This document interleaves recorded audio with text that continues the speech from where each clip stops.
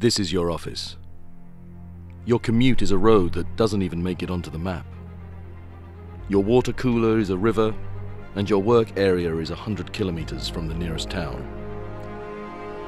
Out here, the only thing that's going to get you through the day are your wits, your know how, and whatever you've packed in that truck. See, you can't afford failure. You can't get stuck out here. These are the tools you need to do your job. They're part of you. So come on and make it good. Make it count. Whatever you take down, take it down well.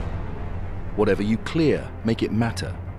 If you're felling, do it cleanly. If you're clearing, make it beautiful. You work with nature every day. You can never tame it. But with the right tools, can you get it to do what you want? Hell yeah.